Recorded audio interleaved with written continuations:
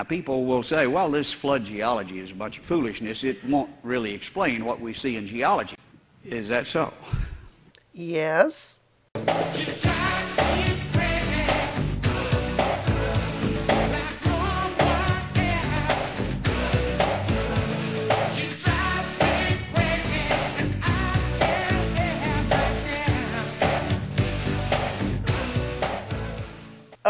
The creationists I've ever seen, I don't believe I've ever come across another quite so disreputable, so dishonest as Don Patton.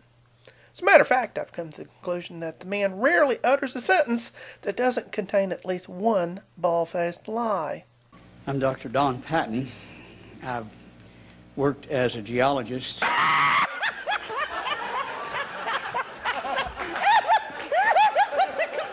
in the U.S., Canada, Australia, England, Mexico, Peru, Bolivia, Jordan, Israel, and Turkey. I suppose there's no law against calling oneself a geologist, even when one's academic qualifications are limited to a couple of intro classes taken at Austin Peay University decades ago, and one's professional experiences are limited to a succession of the crudest, most laughable creationist scams ever. Let's see what Dr.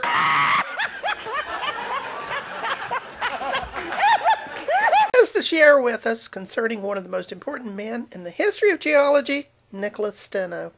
Steno's axioms provide the ultimate basis of practically all interpretation of Earth history. Do you know how he thought this record came to be? Steno believed in a universal flood throughout his life. And Sir Isaac Newton believed that one could change lead into gold.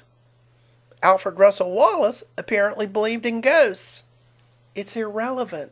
Now people will say, well, this flood geology is a bunch of foolishness. It won't really explain what we see in geology. Nicholas Steno refutes that. This was his concept, and he was a pioneer who was a, a genius. Yes, he was, Don. He was also a man who lived in the 17th century, and believe it or not, geology did not grind to a halt at that time.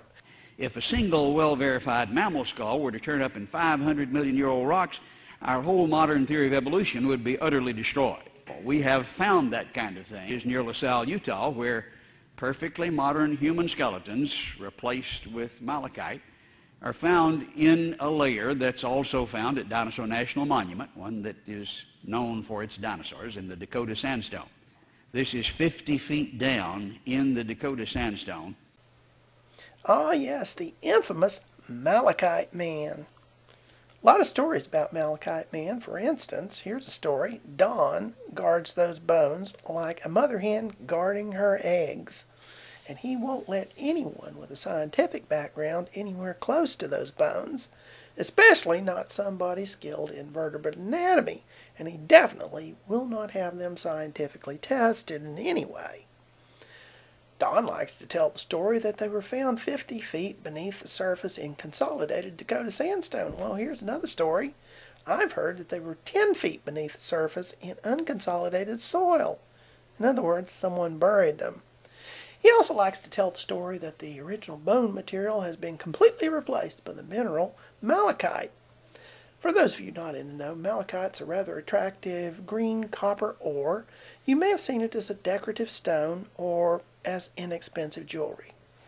Now, of course, nothing Don says has been documented in any kind of rigorous way, and it's just another bullshit story, especially if you consider Don's dodgy history of telling rather large fables concerning his own academic qualifications. Don has a long-time association with another noted creationist grifter, Dr. Carl Baugh. Recent civilizations outside the Bible with no influence of the Bible whatsoever have recorded living dinosaurs.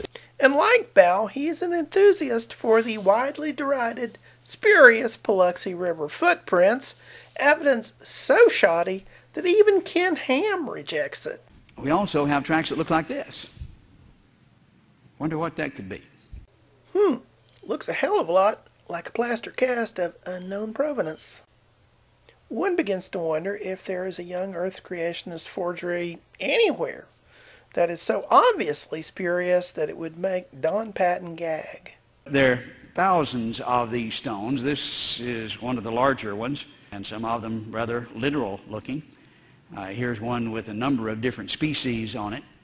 Obviously, Don Patton is willing to swallow a camel in support of young Earth creationism.